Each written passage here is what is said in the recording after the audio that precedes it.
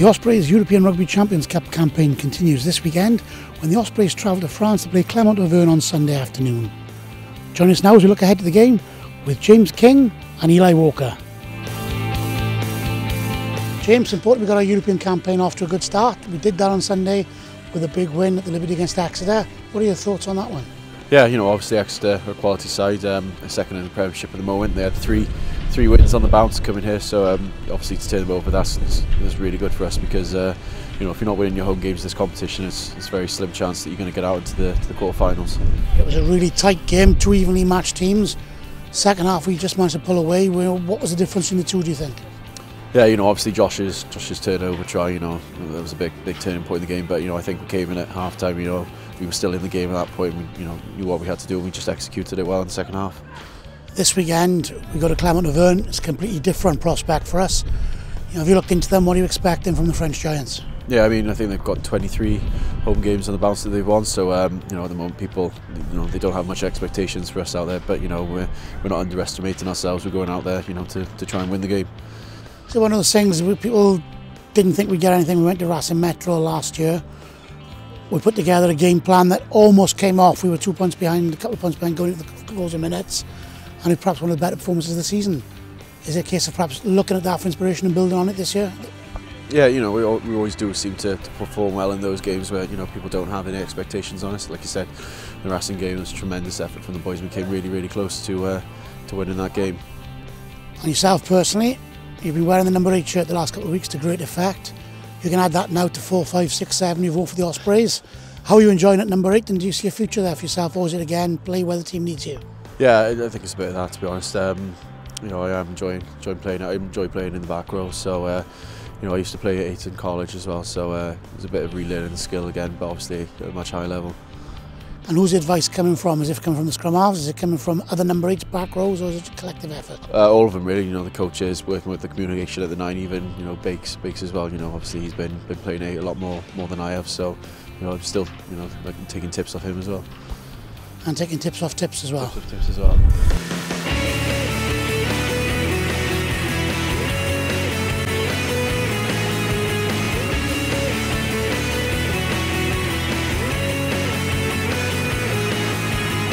Everybody needs a superhero, and it's the jersey that Ospreylia deserves. The new Bat jersey has been revealed and will be worn for the first time in the Ospreys v Cardiff Blues match on Saturday, the 28th of November.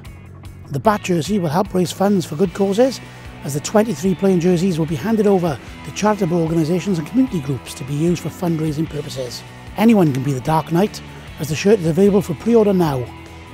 Tickets are on sale now for the derby match against Cardiff Blues on Saturday the 20th of November. Visit the ticket office or purchase online on ospreysrugby.com slash buy tickets. Print at home and beat the matchday queues.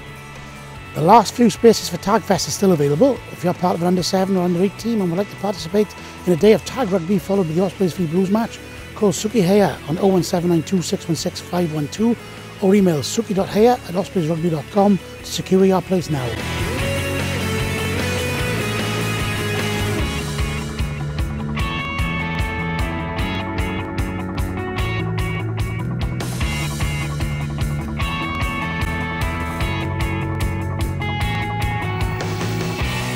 Eli, great start to the European campaign last Sunday big win against Exeter Chiefs who've been flying high in the Premiership. It's a perfect uh, ground for us to push on in this competition.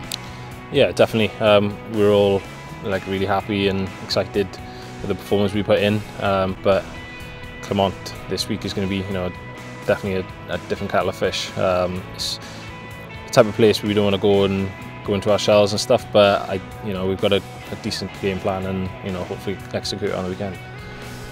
Looking at the Exeter game, we started like you know we came out like a house on fire at the start. Got pegged back in into a bit of a fight. Exeter went in half time in front. What was the half time message from the coaches? Because we came out like a different team in the second half and really dominated. Um, yeah, I think just key points were uh, from Steve just just going forward, whether it's in defence or attack. Um, to be fair, their, their line speed was was was phenomenal. So um, it did put our, our tens and twelves under a lot of pressure, but I think we played in the right areas, um, going aerially. You know, Biggs was outstanding on the weekend. Um, you know, that's that's that's great. We've got to strengthen that. So, um, similar sort of game plan on the weekend. uh, playing expansive rugby, and we don't really want to shy away from that. And you look at Clermont, they very rarely lose at home. Runners up in Europe two of the last three years, runners up in the French league last season as well. That's a pretty impressive record and it makes it a tough place to go. Yeah, it's definitely be a tough place to go, but you know, a lot of teams and, and social media have you know written us off last season, and we came back with a bang and written us off for saying we're not going to really be able to do much against Exeter on the weekend, and you know, starting to prove people wrong, and we're definitely going in the right direction, and that, you know, that's the type of energy and you know excitement we need to take to a team like this on the weekend. A few of the boys in the squad have been there when the Ospreys were there before. Have they told you what to expect when you get out there into what's a bit of a bear pit of an atmosphere? Yeah, it's quite enlightening actually. Beginning of the week, uh, Biggs sat us down and after our meeting and we're saying it's probably the best best uh, best place he's been to play club rugby. Um, you know, it's going to be a packed out packed out stadium. Uh, it's going to be packed out probably about at least an hour before. So I think main key points for us is not to go into our shell, express ourselves, and you know just enjoy it. The competition we're in, we're lucky to be in it. So you know it's, it's, it's great, great um, opportunity for us to express ourselves and um, you know, you know, really show the rest of you know rugby what we can do.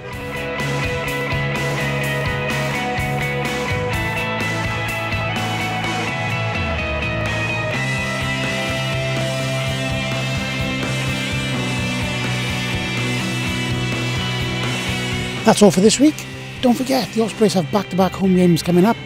The Cardiff Blues at the Liberty Stadium on Saturday the 20th of November and Bordeaux the following Saturday. Tickets for both games are on sale now. Buy your tickets at ospreysrugby.com slash buy tickets.